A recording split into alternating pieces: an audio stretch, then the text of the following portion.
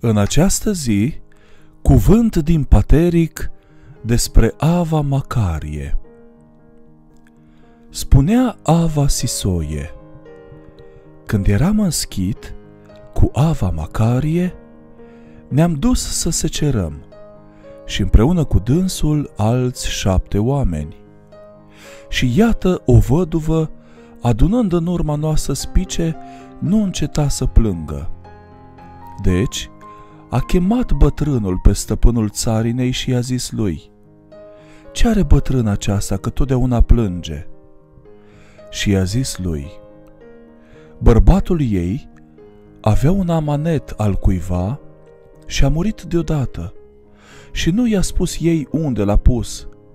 Și stăpânul amanetului vrea acum să o ia pe dânsa și pe fiii ei și să-i vândă robi. I-a zis bătrânul, spune-i să vină la noi, unde ne odihnim de arșiță. Și venind femeia, i-a zis ei bătrânul, De ce plânge așa mereu? Și i-a răspuns ea, Bărbatul meu a murit, luând amanetul cuiva și n-a spus când a murit unde l-a pus. Și a zis bătrânul către dânsa, Vino, arată-mi unde l-ai îngropat.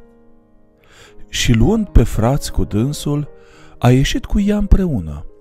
Și venind la locul acela, i-a zis bătrânul, Du-te la casa ta.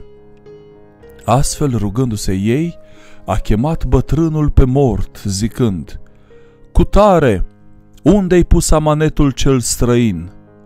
Iar acela răspunzând i-a zis, În casa mea este ascuns, sub picioarele patului. Și i-a zis lui bătrânul, dormi iarăși până în ziua învierii.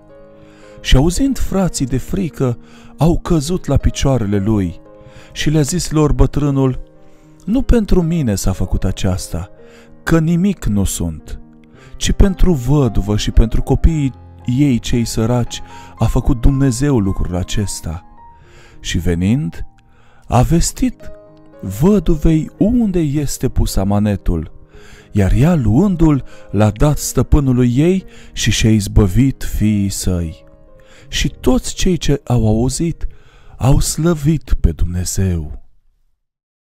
Iubiți prieteni, în cazul în care nu ați făcut-o deja, abonați-vă gratuit la canalul de YouTube Calea spre Mântuire și apăsați clopoțelul de notificări pentru a vedea toate noile postări ale canalului, emisiunile în direct și sfintele liturghii transmise live de la cele mai frumoase mănăstiri din România și din muntele Atos. Până data viitoare, să vă pomenească bunul Dumnezeu într-o împărăția sa. Amin.